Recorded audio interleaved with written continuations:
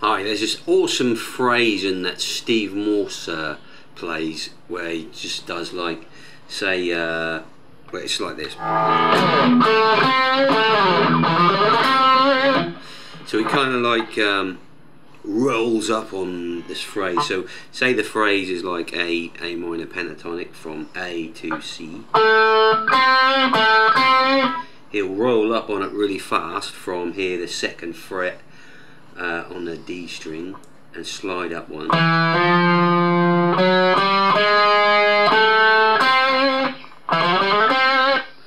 I just think that's awesome, so I thought I'd share it.